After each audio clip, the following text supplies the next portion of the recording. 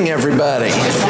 It's a great day, beautiful opportunity for us to be able to gather here this morning, and I trust that you are excited about being here and encouraged by the Word as our, our hope and our goal. So we're going to press forward with that. Uh, we do have a couple of announcements that I want to make. First of all, I want to make sure uh, that everyone knows we have a Vacation Bible School planned August the 3rd, 4th, and 5th, and so we're not very far out from that. If you are interested in helping with Vacation Bible School at any level, uh, please plan on meeting today after services in our fellowship hall. Ooh, got a hot mic going on here. Ooh. Hot mic, hot mic. Uh, in the fellowship hall, if, uh, if you don't know where that is, you can follow these steps down and walk the, the labyrinth corridor to that section. You'll find the fellowship hall. Uh, so all of the crazy people will be gathering at the fellowship hall immediately after services this morning. Our Vacation Bible School, to put it on your calendars, August 3rd, 4th, and 5th. And as, as kind of a unique opportunity this year, each evening before the start of Bible school at 5.30, there's going to be a meal offered. So uh, we'll kind of cut out the idea of doing the, the snack time, refreshment time. We'll do a meal at the first. So if you're interested in helping in any way, please gather in the fellowship hall immediately after services this morning for a brief meeting, and we appreciate that. All right, let's go uh, with, if you could click on the slide for me there.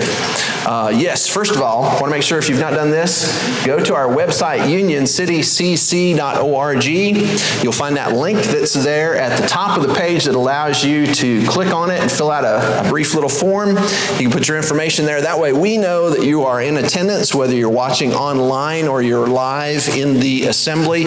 We appreciate that information. It helps us keep track of a lot of things with regard to attendance. It makes it a lot easier for us. So thank you for doing that. If you have a prayer request you'd like to add to that, uh, please do so.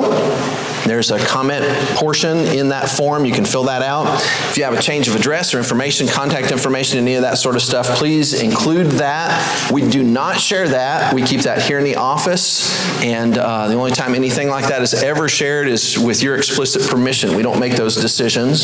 So if you entrust us with your info, we try to keep that very close. But we do appreciate having it. It helps us keep in communication with you with regard to important program uh, information or prayer needs and things of that nature. If you are not on our call list, which we only use every uh, so often, it's, in, it's uh, called One Call Now. If you're not on that list and would like to, to be added, please include your phone number on that form and we will add you to our call list. Don't use it very often, but there are times when it's important to get information out and we will use it then. Uh, we just try not to bomb you with a lot of stuff. Or if you're not on our email list and would like to receive updates, uh, information about programming, information about prayer concerns, or other things pertinent to the church, please include your email and we will include you in our email list as well. It's not, it's an undisclosed list. It's not open for everyone to see the email, so uh, hopefully you won't get spammed.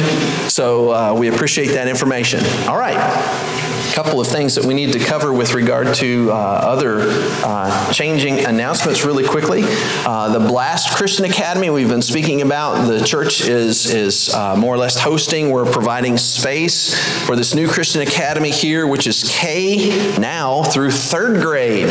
So we've had interest being shown in students all the way up through the third grade.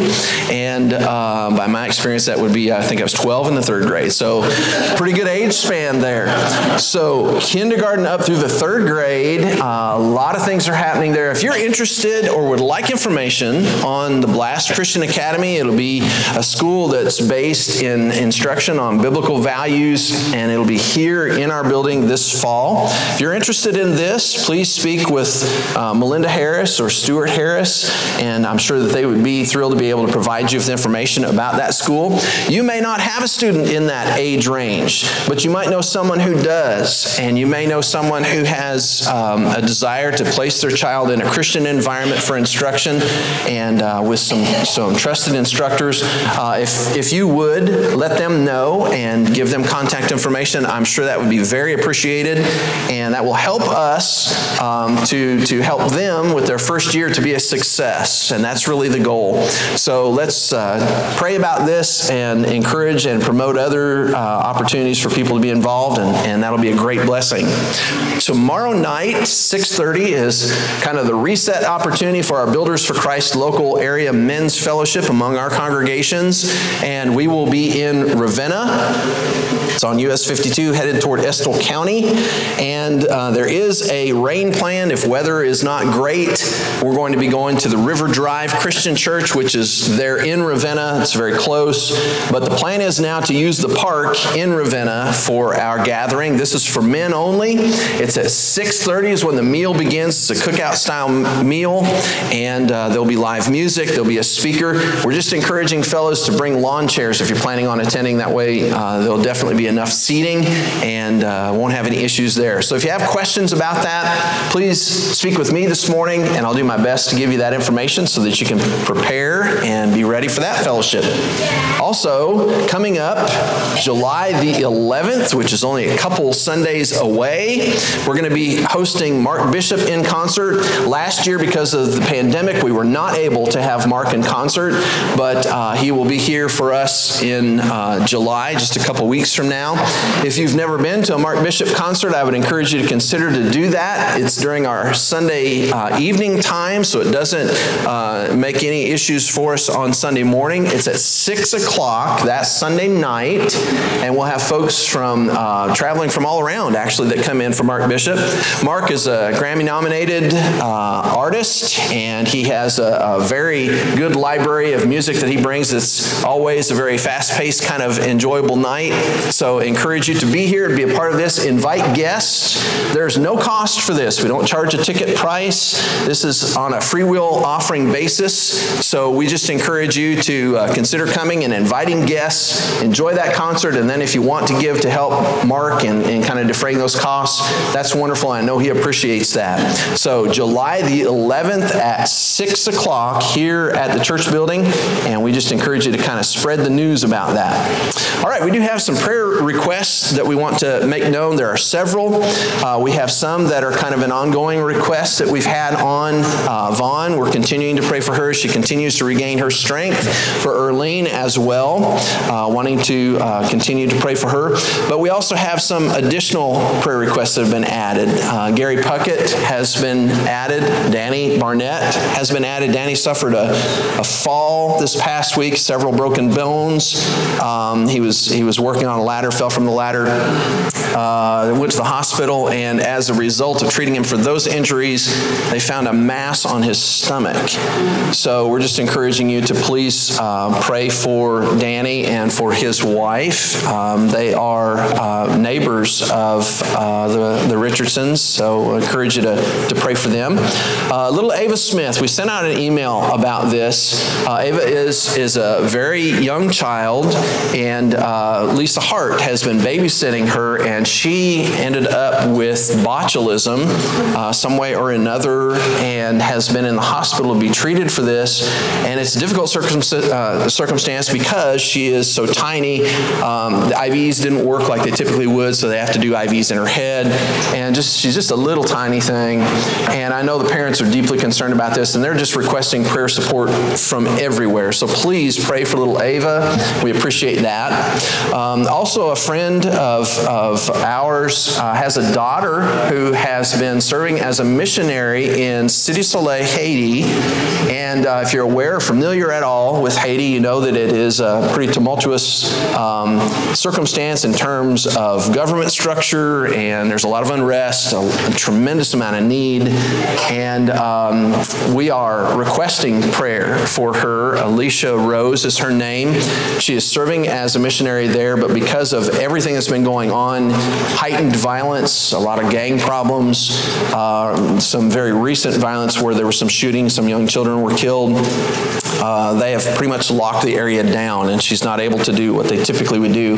She is coming home stateside uh, very soon, but we're praying uh, for her safety in the meanwhile and for the folks there in Haiti. Uh, heartbreaking circumstance. So please pray for Alicia and for her uh, family, um, members of a, of a neighboring church. Also for the Tom McMullen family, we have been praying for Tom, who is suffering from some serious complications from COVID, and he passed away this past week. So I encourage you to please pray for uh, the McMullen family in their time of loss. Again, if you have a prayer request, please submit that. Let me know. Uh, it's best in writing, or if you could fill it out, put it on the form, that's even better. That gives us opportunity to uh, make sure I've got all the information correct, and we will pass that information on for others to be in prayer about it as well. Uh, before we have our um, opening prayer, we're going to have an opening scripture this morning, and I'll have Stuart come and lead us in that time.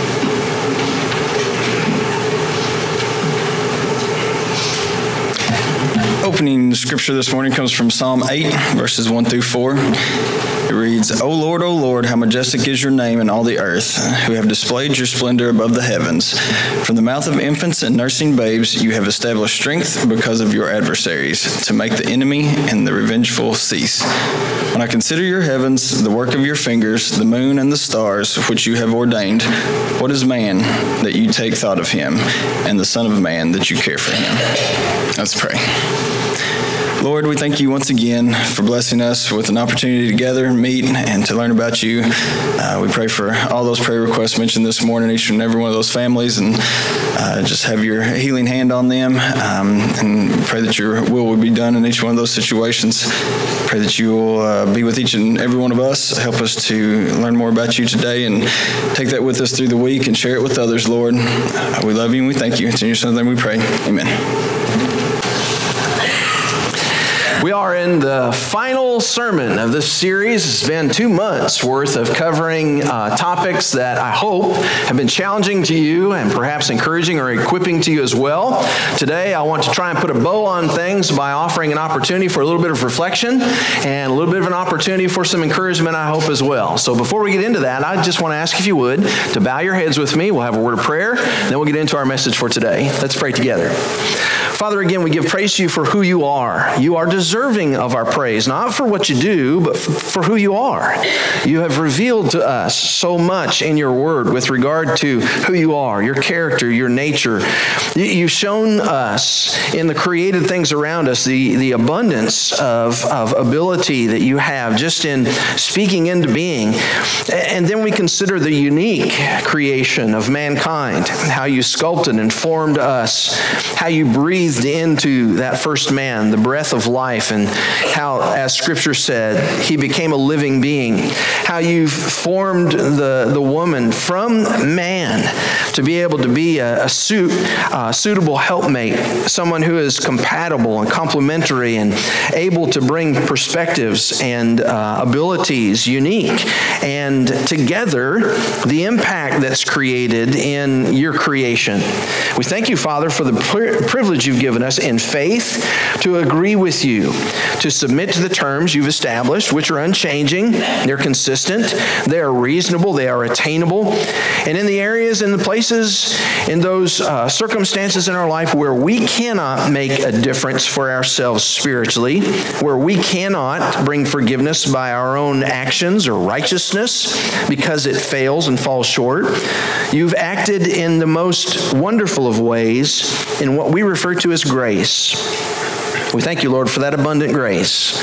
We thank you for the privilege it gives us to stand now clean and new and refreshed, to have a place of service, to have a place of belonging, to be adopted by you into your family, to have a new name, a, a hope of uh, eternity with you. We pray that you'd help us in the meanwhile to do the best we can with the resources entrusted to our care so that our service and our living is suited to bring you honor. May you bless our efforts as we pray together. In Jesus' name, amen. We have been looking into the simple text in Proverbs chapter 22, verse 6, which says, Train up a child in the way he should go, even when he is old, he will not depart from it. We've established very solidly, I think, very quickly into this series that this is not a promise that everything's going to work out as far as your children are concerned. This is not God saying if you have them in church, eventually, sooner or later, they're going to come back to church if they wander and go astray. That is not the promise being afforded here. It instead is a challenge for parents, especially, to consider the unique created traits of their child, their, their bents, their interests, their unique skills, and to help them find a place where they can use these in a fitting, honorable way within the kingdom.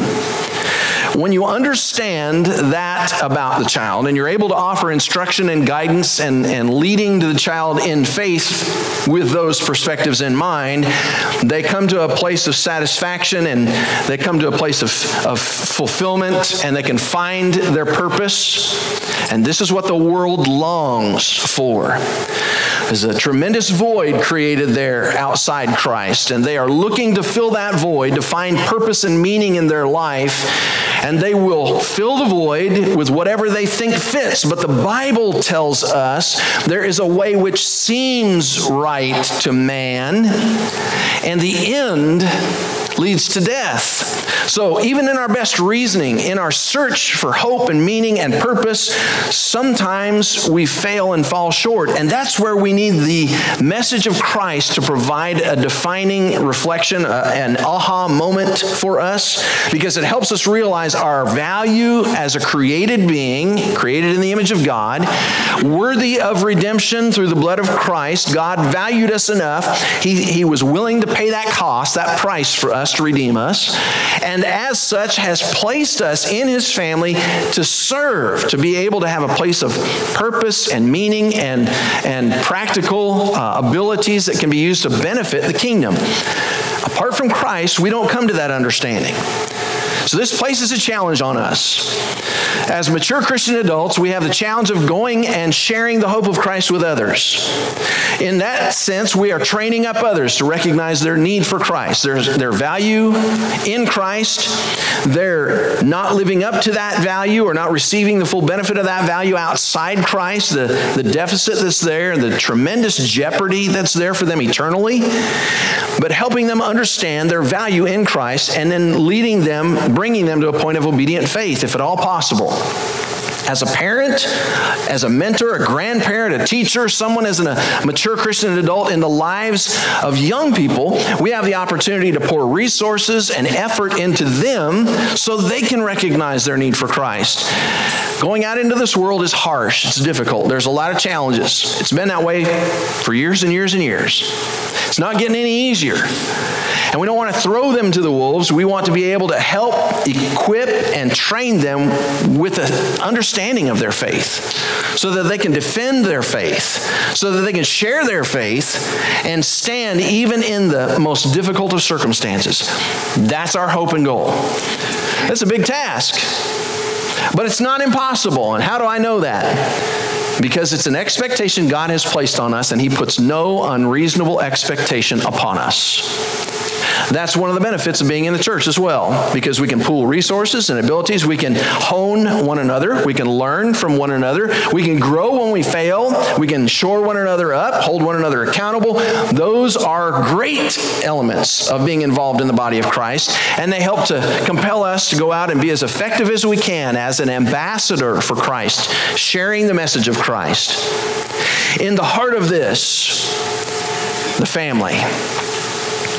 You see, God formed the church from the model of the family, not the other way around. The family came first. God created the man and the woman he created the opportunity and, and even gave them the, the command to go and be fruitful and to populate, to, to multiply, as he said. That was a command given in the earliest part of Genesis. It was a command given to Noah and his family following the flood. It was a command given to Abraham. It's a command that keeps going again and again and again throughout the Old Testament and comes into the New Testament. And it gives us a little bit of a perspective of the value of family and the impact a family can make in a community in a culture so desperate to find a place of belonging. Now, I know many of us come from different experiences. We have all kinds of different things that we've, we've known in life. Perhaps for some of us, we've been blessed with godly parents and we had a wonderful upbringing. Um, I can say that. Some of you perhaps didn't have that experience. Here's what we know everybody has the right now.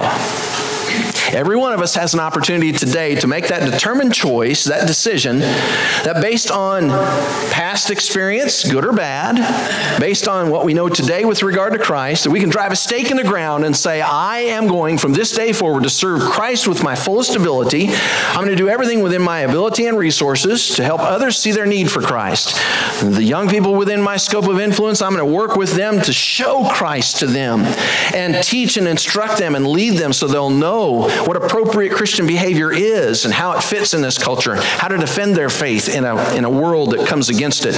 I'm going to do my best in my interaction with other adults to show honor to the Lord Jesus first. I'm going to serve in such a way that it recognizes that I'm not working for my boss, I'm serving the Lord Jesus and I'm giving honor to God through what I'm doing. So I'm going to do my best in every area so that Christ will shine. The difference Christ makes will be shown. This is the impression that I want to challenge us all to take hold of today. I want to consider a couple things as, as we approach this. And I want to go back to a text that's probably very familiar to, to all of us. It's a text we often refer to as the account of the prodigal son. I don't want to do the entire prodigal son story, but I want to just recap really quickly what's happened here. A father who was of some substance and means had two sons. The youngest of the sons came to him at a certain age in his life and said, Give me my inheritance, cut me loose, let me go.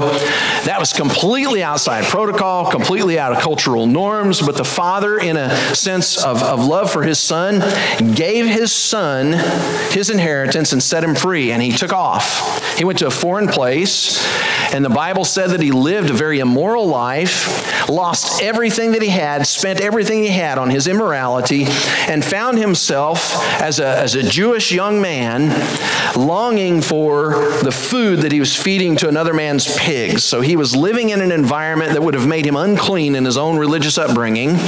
He didn't have substance to care for him. He had no place to stay. He had no food to sustain him. And he was, he was hungry enough, if given the opportunity, he would have eaten the hog slop, but he didn't even have that opportunity. And the Bible says he came to his senses.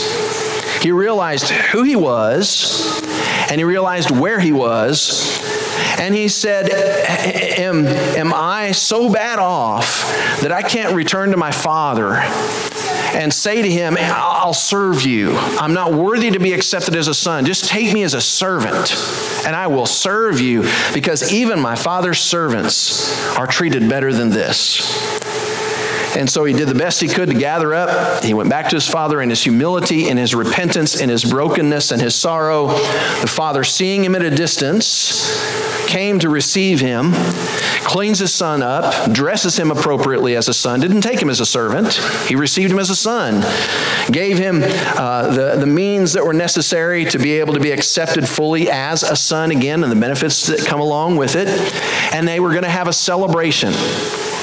And it's at this point we pick up in the text in Luke chapter 15, verses 25 and following, where the Bible says, in, in killing this calf and having this barbecue, you could say, this, is this big party to welcome the son back, the older son doesn't go into the party. He's, he's upset. And he comes back to the father and he, he pleads his own case. Let's look here. It says, The older son was in the field. When he came and approached the house, he heard music and dancing. He summoned one of the servants, began inquiring what these things could be. And he said to him, Your brother has come, and your father has killed a fattened calf because he's received him back safe and sound. But he became angry, was not willing to go in. His father came out and began pleading with him. That's the second time in the text we read of the father coming out Once to receive the repentant son who had left in immorality, came back humbly broken. And secondly, to come to receive the second son and to plead with him and reason with him. Scripture said he came out and began pleading with him. But he answered, said to his father, Look, for so many years I've been serving you, and I've never neglected a commandment of yours, and yet you've never given me a young goat so I might celebrate with my friends. But when this son of yours comes, who has devoured your wealth with prostitutes, you killed the fattened calf for him. And he said to him, Son, you've always been with me, and all I have is yours. But we had to celebrate and rejoice, for this brother of yours was dead and has begun to live, and was lost and has been found. There's a phrase there as I was reading this text earlier this week, once again, that just jumped off the page that I had not really paid attention to before. The first son who squandered his inheritance, shamed the family name, went to a foreign country, lived in ways completely outside their faith. When he came back, the father, now reasoning with his older brother, used a phrase. He said, Your brother was dead, but he has begun to live. He's acknowledging something that's happened here and it's not finished. It's not a completed work. You know, here's the thing with parenting there's no perfect parents. And in spite of what we might think of our kids, there is no perfect kid. It's just not, it doesn't happen, okay? Well, maybe there's one perfect kid, but my mother's not here to brag, so. I'll let you fill that out. We had a we had a whole passel of kids in the family, but mom knows who I'm talking about. There's no perfect kid, there's no perfect parents. Mistakes happen, mistakes are made, decisions are made. Free will intervenes, anger intervenes. Sometimes things are done perfect and the result just isn't what should be. Some things are not done perfect, and the result turns out better than we hoped. That's life. The thing that brings the measuring difference here is the grace of God. We cannot wallow in our past and we cannot continue to be defined by it. We have to drive a stake in the ground, as I've said before, and say, from this point forward, I'm living my life for Christ in such a way that He will be honored and I will be a blessing to those around me. Whether they acknowledge it or not, I'll do my best to show the graciousness of God through my actions. That's when we will have begun to live again. And that text just jumps out at me because I think of where the son had been and the shame that would have been here. How easy it would have been for the father to say, uh, uh, uh, You walked out on me. It's an amazing portrait of the forgiveness of God and the grace of God. I'm going to ask you, if you would, just to kind of humor me for a little bit this morning. And I'm going to share a couple of personal things that uh, may or may not be of interest to you. So I'm just going to hope that it'll be encouraging for you, and we'll just leave it at that. As I've mentioned, I did not become a Christian until I was in high school. I was a sophomore in high school before I understood who Christ was, who I was outside Christ, and committed my life to Christ. That defining moment came because there were people who invested in me. The two who loved me more than anyone else on the face of the globe, my mom and dad, prayed for me. I remember the night my mom and dad committed their lives to Christ. I will never forget I came home from work that afternoon. Our preacher came in. I've shared this with, with many of you before. He came in, sat down, and was going through a film series with my mom and dad with the gospel. He had a little movie projector, and my dad asked me to sit down and, and go through this with him. They'd been studying with him for a while. I was exhausted. I was working at a lumber yard. I was exhausted. Uh, came in, sat down, and I just promptly went to sleep. I had nothing for the preacher. It wasn't that I hated him or anything. I just, you know, he, he was a preacher, and I, I didn't really have much for him. How ironic is that? I sat down in the chair and I went right asleep. When I woke up, it was about midway through that presentation, which I don't know how long of a period that was, but I got up without saying a word. I got out of the chair, walked through the room, and down to my room to go to sleep. Next morning, I came up, my dad doing what my dad did every day that I remember in my life, up to the point he became a Christian. Pot of coffee and guitar at the top of the steps. I came up, my dad saying, Son, I need to talk to you. And I was bracing myself. I thought, Oh, here it comes. Here it comes. And dad said, Son, there's going to be some changes made here. And I thought, Okay, here we go. Here we go. And dad said, I want you to know last night, your mom and I committed our lives to Christ. And I was baptized, and then I baptized your mom. And he said, uh, I want you to know we're praying for you. And that floored me. I mean, this is my dad. This is Superman in my eyes. I mean, this is a guy, man among men, and he's doing what women do. He's going to church. And I mean, it just floored me. And I saw a dramatic change in two very good people who weren't Christians. But I saw a dramatic change in their perspective and living from that point forward in my mom and my dad. I would not be a Christian today were it not for the indelible mark my mom and dad made on me. There were others who had invested in me as well, some in the church that didn't even know who'd been praying for me. There were some who were friends kind of in a peripheral way around our preacher. And I got to tell you, that preacher became like a brother to me. We all but adopted that preacher, young preacher, First Church, uh, graduate of Kentucky Christian College, where I would meet my beautiful wife later, some years later. Um, wonderful Christian man that I love today. I wouldn't be a Christian were it not for some of the instruction I've received from him. Um, that whole situation just changed my entire perspective and opened the door for me to understand who I was and who Christ was. Had it not been for my mom and dad, that would have never begun. The impression a mature adult can make on the life of a young person cannot be overstated. Young people listen. Young people watch.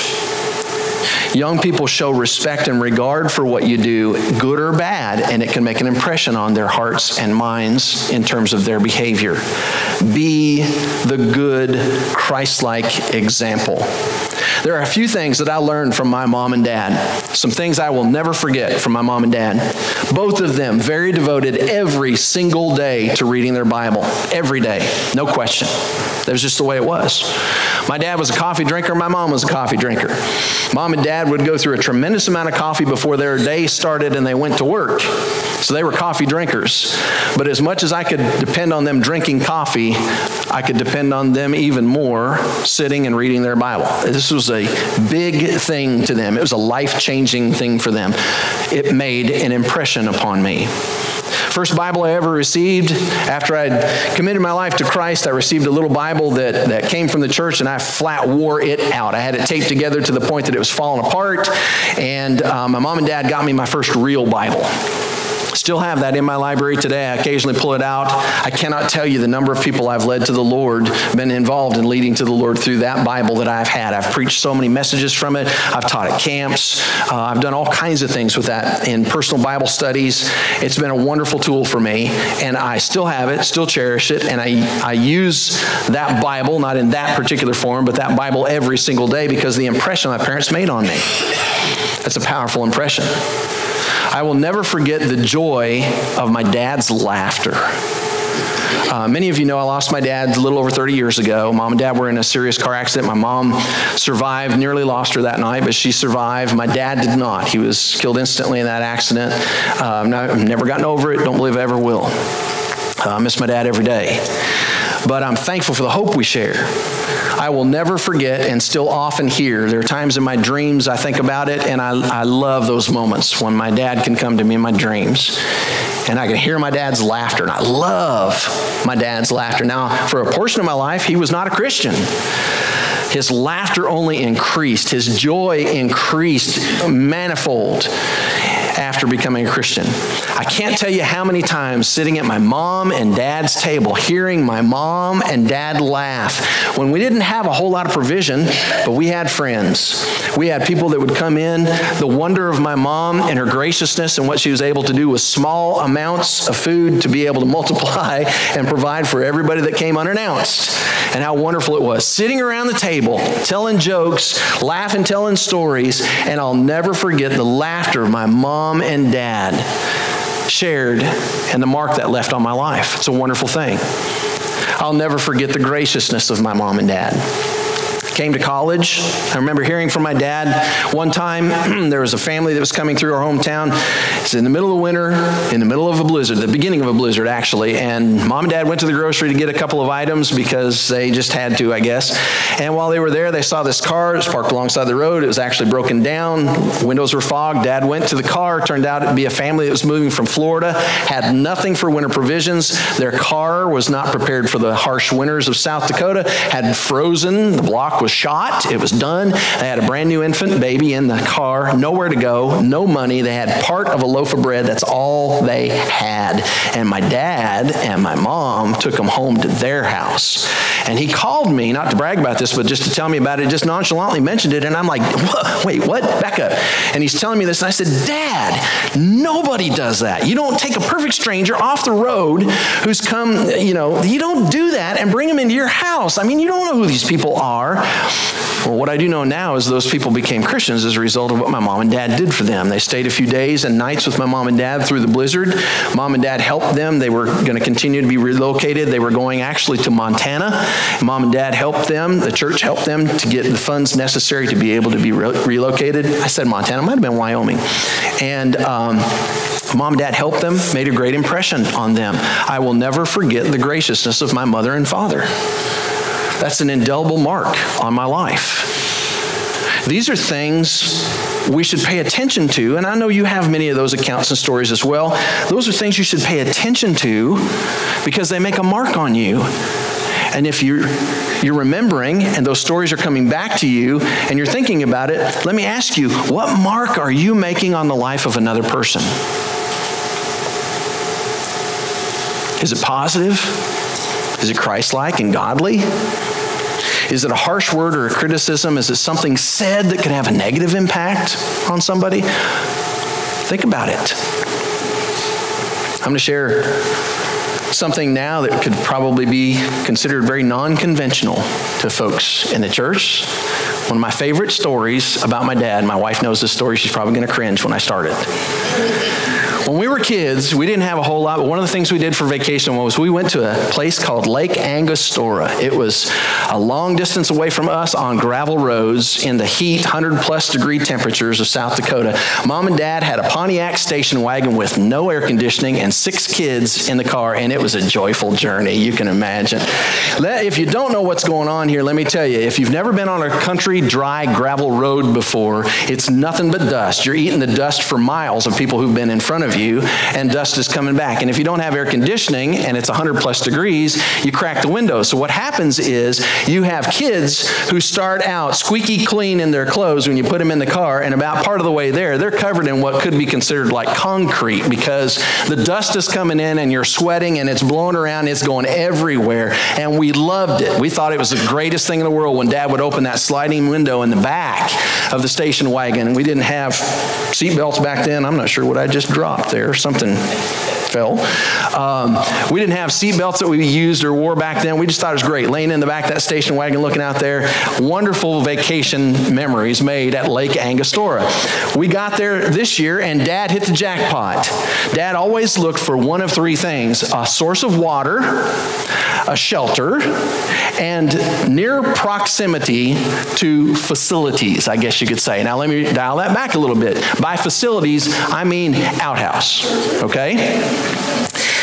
We got to Lake Angostura that year, and there was a shelter house with two outhouses up on a hill, just removed from it, and a water spigot at the shelter house. It was uh, an absolute win win win for my dad. We put our tent up next to this, we got our coolers out, we got everything all ready to go, and we were kids, we were running and doing whatever we were. We wore cutoffs. They weren't jorts then. This, we were cutting edge at that point. These were not jorts, they were cut off blue jeans that we wore no shirts, no shoes, running around my brothers and I. And I, I don't recall in the exact circumstance how long we were out, but it was plenty long enough for mom to get everything kind of gathered up, ready for us to start to eat. And we were called in to eat. And part of what we had to be able to do was we had to hose off the spigot. We also had to go up to the bathroom before we ate. This was just a part of the routine. And dad was trying to keep us entertained. He was excited about the whole situation. We're, we're walking up to these uh, porta potties. Actually, they were not porta potties, they were just wooden structures that were there like the old time outhouses. And they faced down toward the shelter house. And in the meanwhile, since we'd been out playing, several other families came because the shelter was a nice place. They came to that same area for the same reasons. There was water close by, there were toilets close by, there was shelter there that could be used, and we were all going to be sharing this space. So it was a pretty good crowd of people there, right at the shore of the lake. and a nice summer day and cool breeze. And we're barefoot in these and we're walking this hill with cactus peppered all over the hillside trying to get up to this hill. So dad's helping us dodge and navigate our way up, and dad's making a game out of it. You know, he's got myself and my two older brothers. I don't recall my youngest brother being with us or the girls weren't with us at that trip up the hill, but we're navigating our way between these, and my dad's making a game out of it to see who can navigate without stepping on cactus and who can get to the outhouse first. And it's a long walk up the hill, and he's being silly. My dad was just that way, and we're all laughing and having a good time. Well, as we're getting up there, my dad's first. So my dad gets up to the outhouse, grabs the door, and turns back to us to make a big deal out of it, and swings the door open and yells, Ta da! And everybody down at the shelter house is looking up at this outhouse with this little man sitting inside the outhouse. And he's looking out down toward the shelter house. Now, if you can picture this in your mind, here's my dad. My dad doesn't see the man behind him. He's holding the door wide open and yelling to da. And my brothers and I don't care about the cactus at this point. We're laughing so hard that we're on the ground, and dad thinks he's the comedian of the year because I've cracked my boys up so much, he doesn't yet have any idea, and this poor guy behind him can't get his attention. Doors wide open. So my dad does the only thing he can do at that point. I'm going in first. And he turns and hello. And he's holding the door open.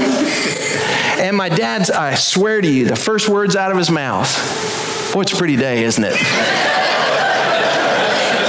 And that poor fella, I swear this is true. I promise this is true. That poor fella, vulnerable as he was, said, It's a beautiful day. Would you mind please closing that door?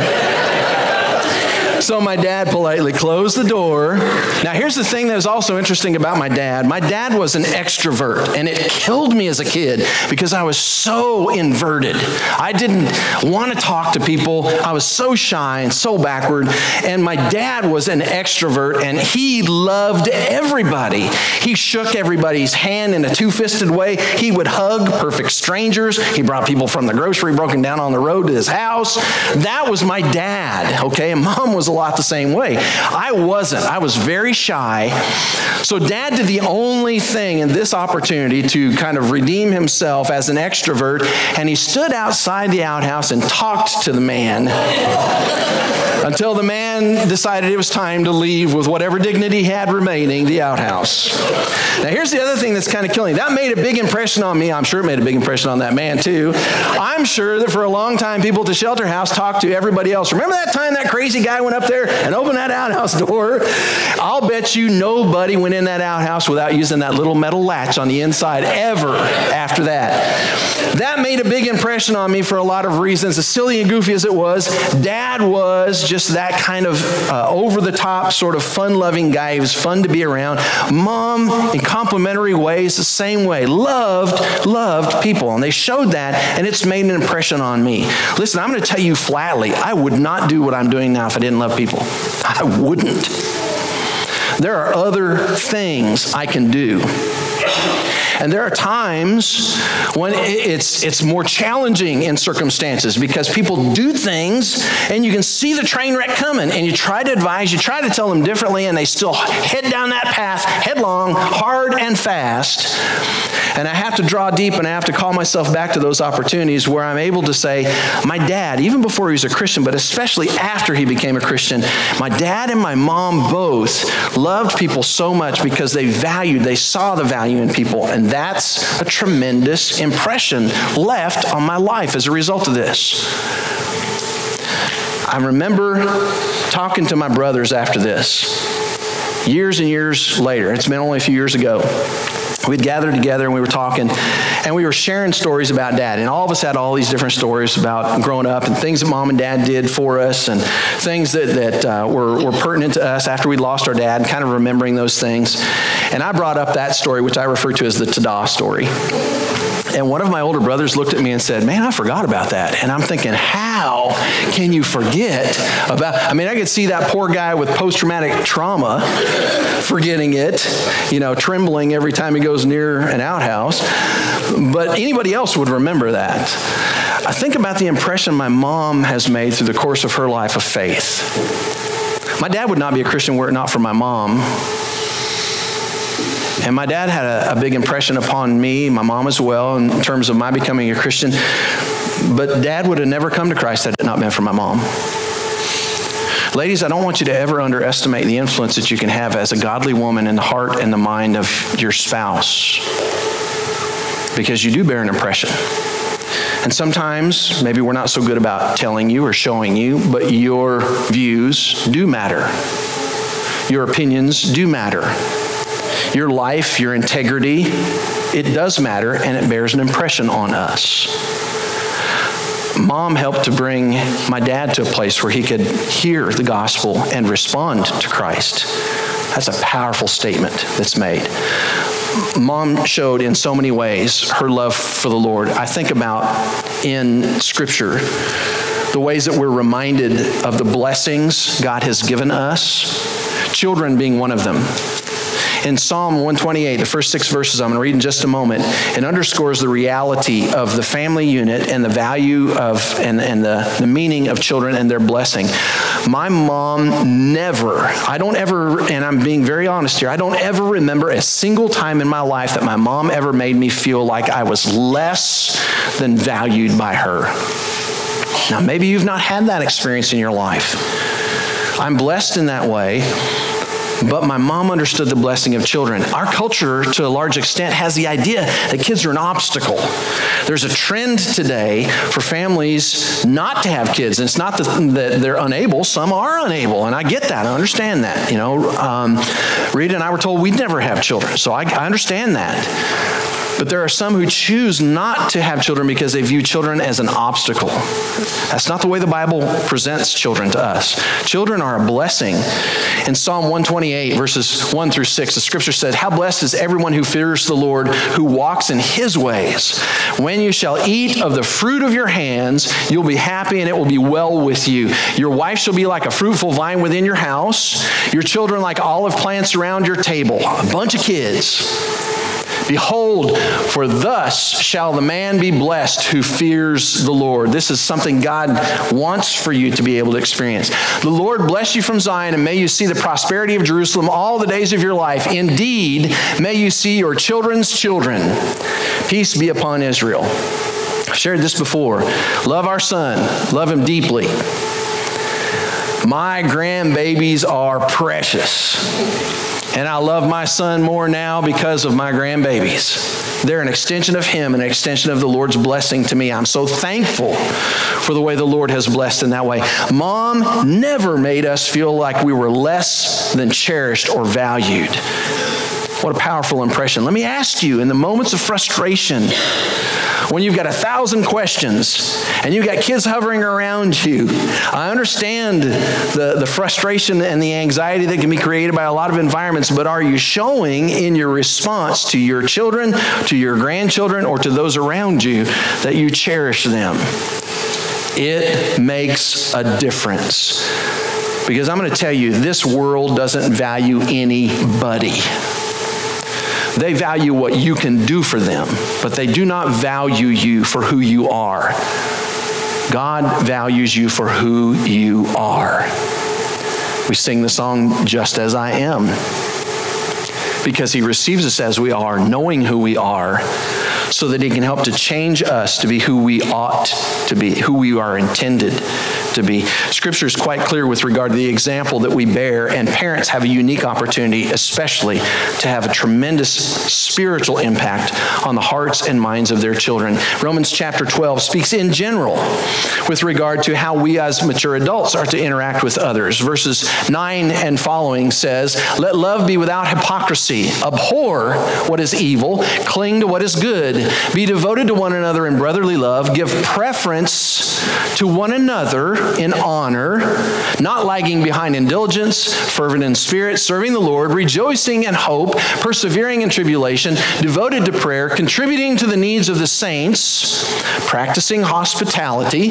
Bless those who persecute you, bless and do not curse. Rejoice with those who rejoice, weep with those who weep. Be of the same mind toward one another. Do not be haughty in mind, but associate with the lowly. Do not be wise in your own estimation. Never pay back evil for evil to anyone. Respect what is right in the sight of all men, if possible. So far as it depends on you, be at peace with all men. I mentioned my mom. And one of the things that makes a powerful, a great impression upon me is how she interacted with the immediate kids in our family. Mom and dad both came from horrible, broken environments of relationship. Dad had a daughter, mom had two boys, young. Mom and dad met, they married, later in life became Christians. Uh, the family, of course, grew through the meanwhile. And I think about that. You know, they were growing up in harsh times, six kids in one household. The seventh wasn't with us being raised, but eight people in a house coming up through an economy that was crushing, awful, gas lines, and all, the, all that kind of mess and they were able to be gracious throughout all of it. You know, for a long time, I thought my mom's favorite piece of chicken was the neck. I actually believed that for such a long time. And then I realized that my mom took that because she didn't want somebody else to have to take it. It was just the piece that was left. That's what she was going to eat. Mom made do with what she had. That's still my mom today she does so many things within the church environment, within her circle of friends, and so many others. And mom is now 78, uh, is in great health, strong as a horse.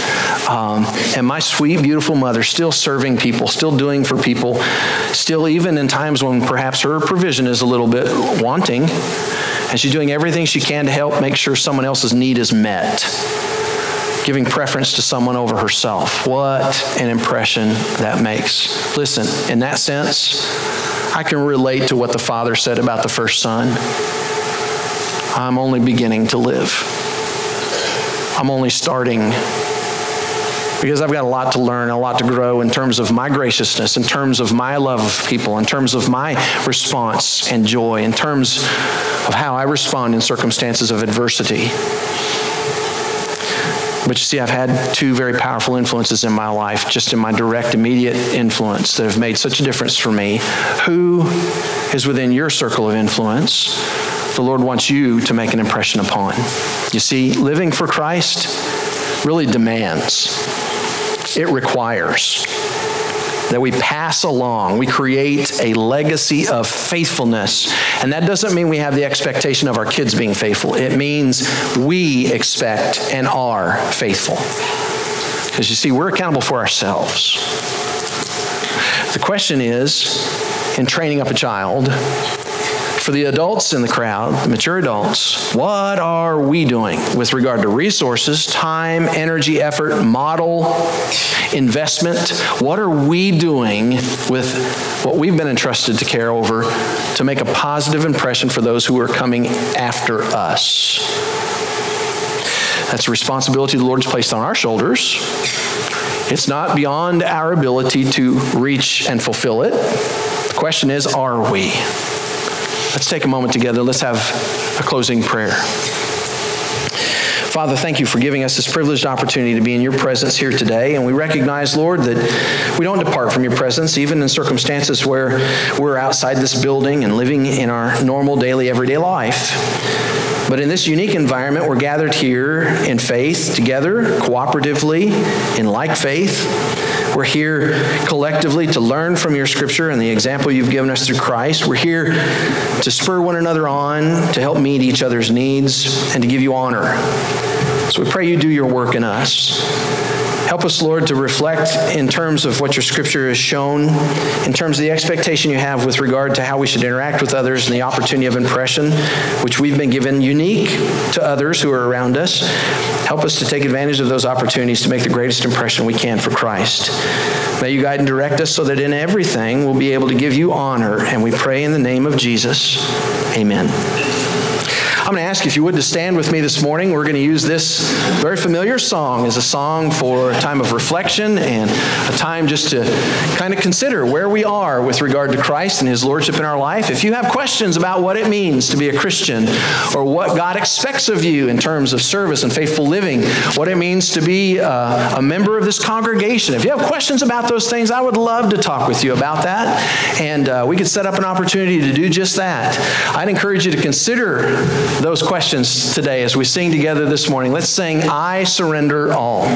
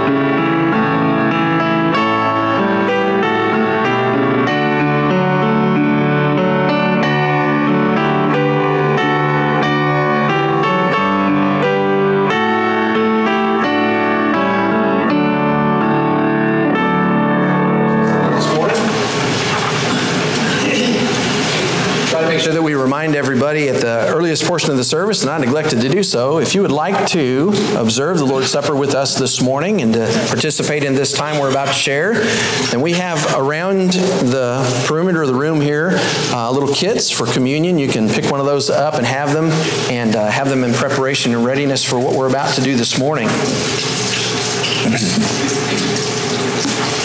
I'd like to read this morning from a text of Scripture that's very familiar to many of us. It comes from the writings of the Apostle Paul. The Holy Spirit provides through Paul a reflection of how uh, the, the Lord implemented the Lord's Supper. And there are some key points here that we try to pay attention to as we observe this together. 1 Corinthians chapter 11, verses 23 and following, the Scripture says this, as Paul writes, For I received from the Lord that which I also delivered to you. That the Lord Jesus, in the night in which he was betrayed, took bread. When he had given thanks, he broke it and said, This is my body, which is for you. Do this in remembrance of me. In the same way, he took the cup after supper, saying, This cup is the new covenant in my blood. Do this as often as you drink it in remembrance of me. For as often as you eat this bread and drink the cup, you proclaim the Lord's death until he comes that text identifies a few things for us. Scripture tells us that Jesus in the Gospels gathered with his disciples to observe the Passover meal. They used special emblems which had special purpose during the meal. One of the emblems Jesus used for the Lord's Supper was unleavened bread bread that was made in haste for a journey, a trip, bread which spiritually would represent the lack of sin, the lack of something that would corrupt or, or cause it to be defiled. And Jesus used that bread as a reminder of his body that simple bread, which we have each Sunday, carries a tremendous reminder for us.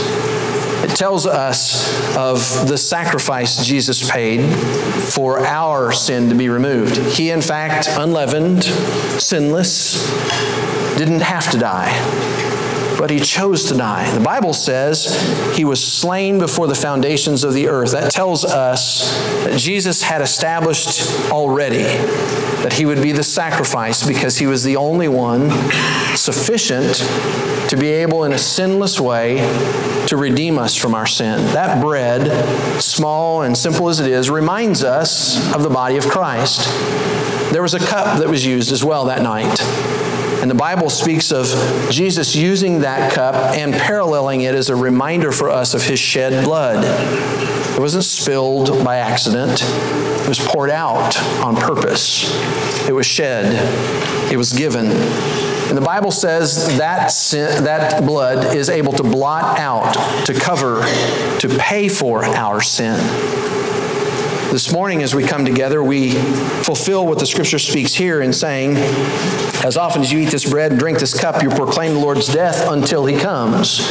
That word until is very powerful, and it's why we observe this every Lord's Day. It allows for us an understanding. The word until means in a consistent, ongoing method for a specific time frame. It is to continue until the Lord returns. We remember, and then in His presence and the words of the Lord, it will be renewed this is a good indicator for us in our time of remembrance today, and it's why we offer the Lord's Supper every Lord's Day. The model of the New Testament church, the early church, the first century, was doing this on every Lord's Day, and we do the best we can to do the same. But we're called to remember his broken body as we take the bread and his shed blood as we observe the cup. I would encourage you to do just that be able to remember the sacrifice of Christ and to consider your value for such a sacrifice to be paid to redeem you. Let's pray together. Fathers, we consider from your scriptures the incredible richness of your grace, the abundance of love you've shown us in the willingness of Jesus to pay our debt. We're humbled by the reality of who we are in terms of what you've done for us. Outside Christ, the scriptures teach us that we are an enemy. Outside Christ, we're told that we are stained with sin in a way which cannot be changed apart from the blood of Jesus. Outside Christ, we're told that we are estranged from you, we're foreign, we're alien. We can do nothing to approach you. But because of what Jesus has done, as we remember today, you've afforded for us forgiveness. His blood has blotted out our sin.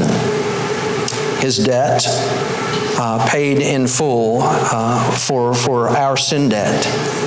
That death is one that was not deserved, and because of it, your scriptures teach us that you have given him the ability to rise from the dead, never to die again. We long for the day to be reunited with you in that opportunity of resurrection. In the meanwhile, Father, we consider who we are and we consider what you've done. We ask your blessing upon this bread as it reminds us of the broken body of Jesus, and upon this cup as it reminds us of the shed blood that he poured out to remove our sin. May you bless this observation and our remembrance today so that we can honor you in our living, and we pray in the name of Jesus. Amen.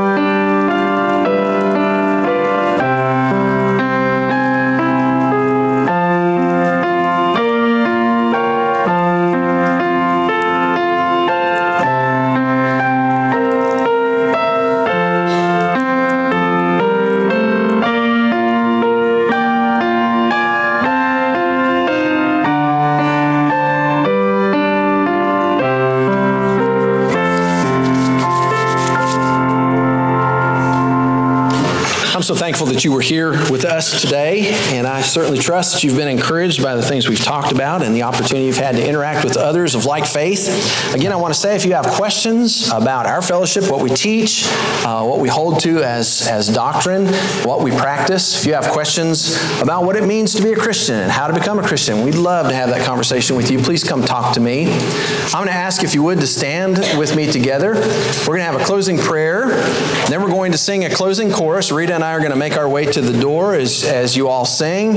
And we just look forward to being able to, to greet you as you begin your week now uh, with a word of encouragement from the Lord. So let's have a prayer and then we'll sing together, All Hail King Jesus. Let's pray. Father, thank you for the opportunity to be here today. Thank you for the opportunity of refreshing that comes from your word, the opportunity of remembrance as we consider the sacrifice of Jesus and the difference it's made for us. May you spur us on through your word and spirit so that we can be even greater servants for you. Give us eyes to see the needs of others. Give us a heart of compassion and strength to be able to rise to meet those needs. And Father, we pray where we fail, you'd offer grace and forgiveness, that you'd help our hearts to be broken so that we can be led back to you in a way that would honor you. May you bless this assembly as we leave this place. Help us to walk in your presence faithfully. And we pray in the name of Jesus. Amen.